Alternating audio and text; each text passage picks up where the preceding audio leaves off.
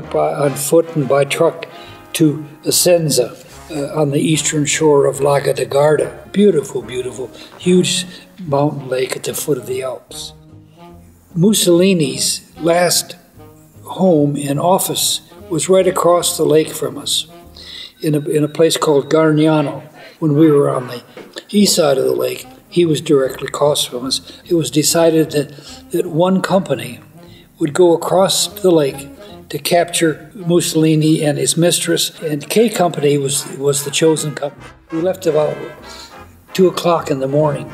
We were in Ducks, D U K W S. It's an amphibious uh, truck, but it would go on land or it would go on sea. We expected heavy German resistance. It turned out that that night the Germans had started retreating to the north. So we had no opposition there at all. We took over Mussolini's palace, and I was charged with guarding this huge administration building of, uh, of uh, Mussolini's. And, and while I was there, I wandered the building a lot, and he had a lot. He had one room full of sh- women's shoes. He had rooms full of clothes.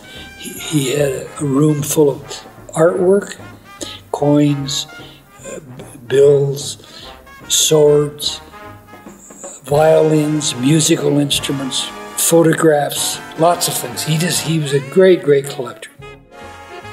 Every night, four of us would take off and liberate a new town. Lieutenant Cadis, a sergeant, who I can't remember who the sergeant was, and Don Kent and myself, we commanded Mussolini's big, big, long black convertible.